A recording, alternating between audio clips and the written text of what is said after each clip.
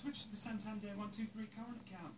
Brilliant. Just gave him a call. It was easy. Now I get 3% interest on balances between three and £20,000.